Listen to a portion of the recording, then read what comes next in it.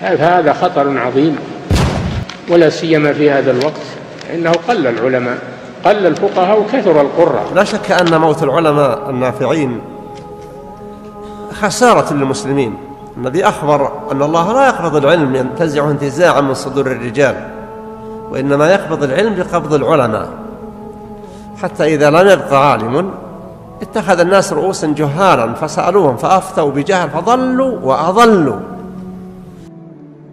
حق البكاء أيا عيون إذ غاب عنا المصلحون.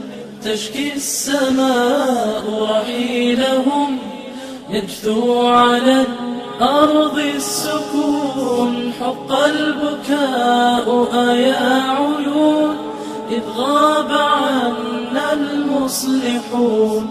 تشكي السماء رحيلهم يجثو على الأرض السكون. هذا ابن جبريل مضى وجرى له الدمع الهتون. واليوم نفقد عالما بحرا حوى كل الفنون.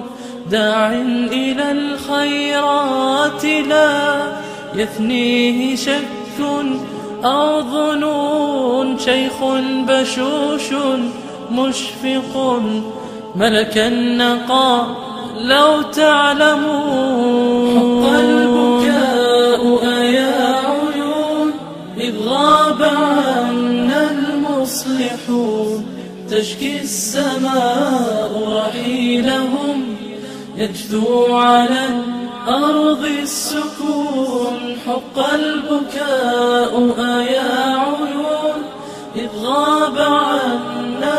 المصلحون. تشكي السماء رحيلهم يجثو على الأرض السكون. هذا سعيد درة سكنت بأوساط الجفون.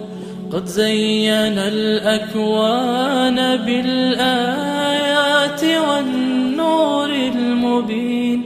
تبكيه روحي كلما قالوا هوى بيد المنون والله يعلم كل ما قد كان أو ماذا يكون.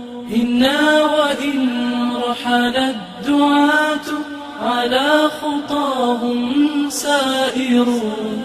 إن مات فينا عالم ألف سواه سيبعثون ألف سواه سيبعثون ألف سواه سيبعثون